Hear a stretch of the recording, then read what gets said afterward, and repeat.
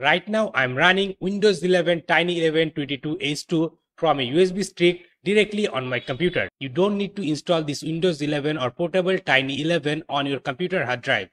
Directly from your USB thumb drive or a pen drive, you can run Windows 11 on your computer. In this video, I'm going to show you how to do that. So further ado, let's get started.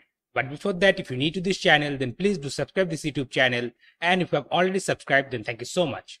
Okay guys, now you can see my computer screen. Now first of all, what you need to do, you have to download the Windows 11 Tiny 11 ISO file and the Rufus. To download them, open up your browser and search on Google Tiny 11. Then go to this first website. Then from here, click on ISO file and download this Tiny 11 22H2 beta, this ISO file. I had already downloaded it. Now take another tab, then search on Google Rufus. Go to this first website, then scroll down and click here to download the Rufus. I had already downloaded them, so I'm not going to download it again.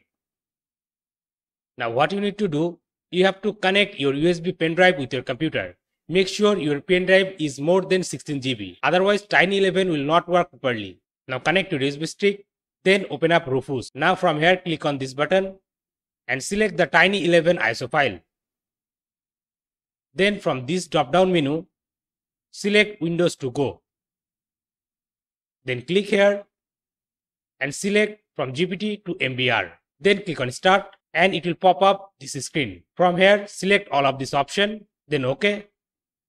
And it should start flashing this tiny Windows 11 ISO file and burn it in your USB thumb drive. It's gonna take some time, depend on your computer speed.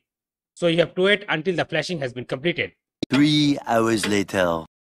Now the flashing has been completed. Now what you need to do, you have to restart your computer and get to your boot menu of your computer. To get into your boot menu, press the boot menu key on your keyboard while restarting your computer. Now from this boot menu, you have to select your USB pen drive. Select your USB pen drive and press enter. And now your computer should boot from USB pen drive with Windows 11 Tiny 11 22H2 version. And now you can easily use Windows 11 from your USB thumb drive. So guys, that's all for today. I hope you like this video. If you really like this video and enjoyed this video, then please give it a big thumbs up and share this with your friends. And guys, if you're new to this channel, then please do subscribe this YouTube channel and don't forget to press the bell icon to get all the latest upcoming video tutorial notification. I'm Mehedi Shakeel, you're watching SSTec tutorial and I'm signing out.